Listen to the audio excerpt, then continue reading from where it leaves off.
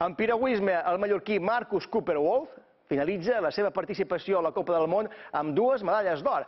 Avui Cooper, amb els seus companys, ja ha guanyat la prova del K4 500 metres. L'embarcació espanyola ha remuntat i en un final ajustadíssim s'ha imposat a les dues embarcacions hongareses.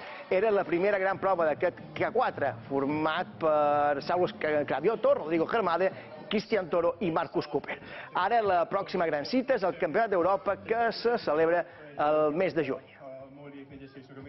Una pasada haber logrado esta medalla de oro, esa medalla que he conseguido con estos, estos grandes compañeros.